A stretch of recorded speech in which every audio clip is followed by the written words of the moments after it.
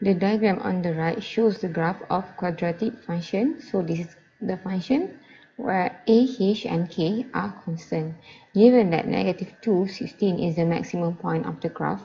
So we see here, given maximum point. So we know the formula that fx is equal to ax plus h square plus k. So the maximum point is equal to negative h and k. So it's given that uh, negative 2, 16. So negative 2, 16 is the maximum point. So state the values of A, H and K. So for A, we know that H is equal to, so negative, negative. H is equal to 2. And then we have K, K is equal to 16. So in order to get A, we must substitute inside the equation. So we will know what is the value of A.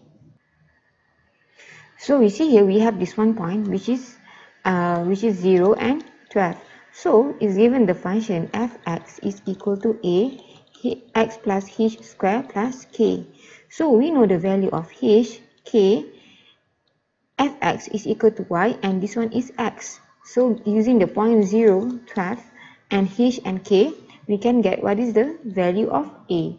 So here fx is equal to so 0, 12, fx is equal to 12 is equal to a, x is equal to, so x is equal to 0 plus h is given that h is 2 square plus k is 16.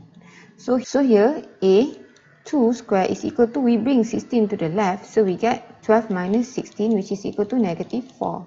So we expand here 4a is equal to negative 4, a is equal to negative 1.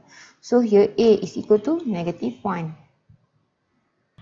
So express the function in general form and intercept form. So we see here general form ax squared plus bx plus c and this is the intercept form.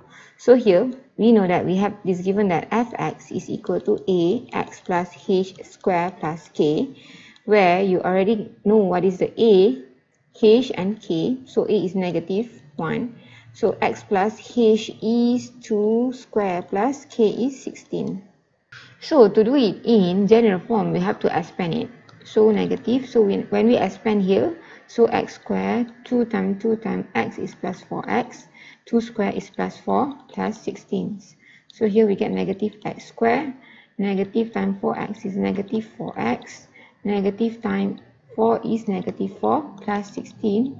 So we get negative x squared minus 4x. Negative 4 plus 16 is plus 12.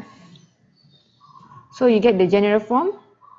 So the general form is negative x squared minus 4x plus 12. So now, intercept form. So to do the intercept form, so you can find it by factoring, factoring the general form.